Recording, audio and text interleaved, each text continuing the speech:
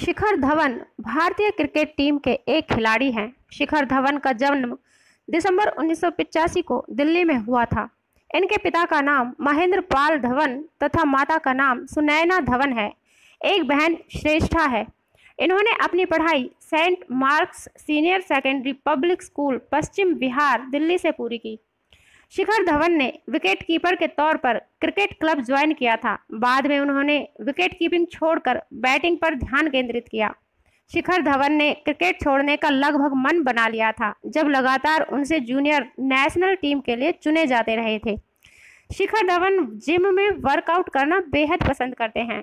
उनके अनुसार जिम जाने से ध्यान केंद्रित होता है और इससे अच्छा खेलने में सहायता मिलती है। धवन एक मैगजीन, द मैन के कवर पर आ चुके हैं। साथ ही साथ उनकी फ़ैशन में खास रुचि है। शिखर धवन ने अपने अंतर्राष्ट्रीय एक दिवसीय करियर की शुरुआत 2010 में ऑस्ट्रेलिया के खिलाफ की थी। उन्होंने अपने टेस्ट कैरियर की शुरुआत भी ऑस्ट्रेलिया के खिलाफ 2013 में की थी, जिसमें उन्होंने पिचासी गेंदों पर 100 रन बनाकर किसी भी खिलाड़ी के द्वारा अपने पहले मैच में सबसे तेज शतक बनाने का रिकॉर्ड बनाया था।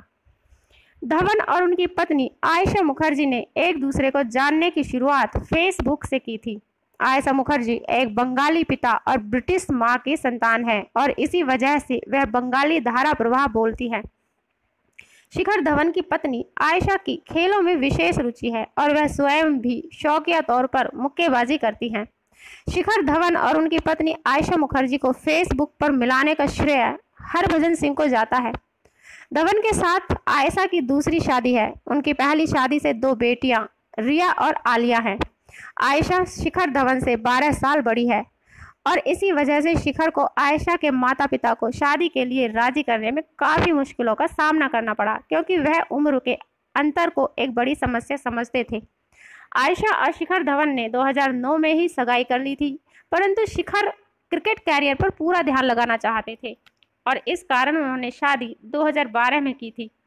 शिखर धवन से आयशा की शादी के बाद इंटरनेट पर बहुत प्रसिद्ध हो गई थी और उनकी सुंदरता खास चर्चा का विषय बन गया था।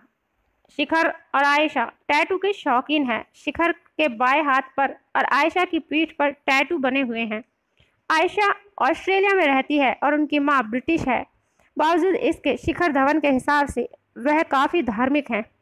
2014 में शिखर धवन की पत्नी आयशा ने एक बेटे जोरावर को जन्म दिया था।